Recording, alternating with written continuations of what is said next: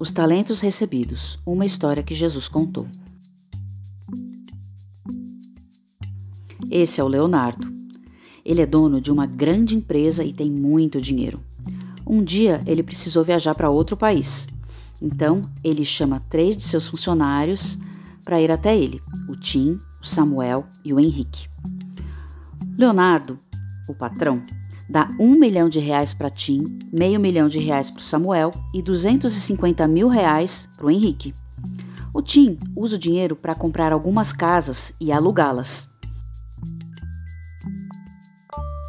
Samuel coloca o dinheiro na bolsa de valores. E o Henrique leva o dinheiro diretamente para casa e guarda num cofre.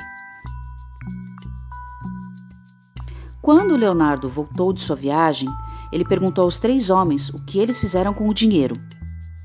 O Tim disse a ele: Bem, através do aluguel das casas que eu comprei, eu consegui dobrar o dinheiro que você me deu. Leonardo ficou tão feliz que deu para o Tim um cargo de liderança em sua empresa. Samuel diz: Eu também consegui dobrar o dinheiro que você me deu. Então, o Leonardo ficou feliz com Samuel e deu a ele um cargo de liderança também. Henrique simplesmente coloca o dinheiro que tirou do cofre nas mãos do seu patrão. Leonardo fica confuso e pergunta por que ele não usou o dinheiro. Bem, ele disse, eu não queria perdê-lo e você iria tirá-lo de mim de qualquer maneira quando voltasse de viagem. Isso deixou Leonardo com uma raiva. Ele pega o dinheiro de volta sem dar a Henrique qualquer recompensa.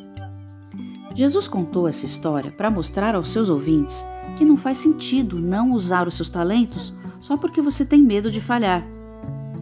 Mas quem sempre confia em Deus e usa os seus talentos para Ele, vai ganhar ainda mais no final. Quem não se importa com Deus, perderá tudo.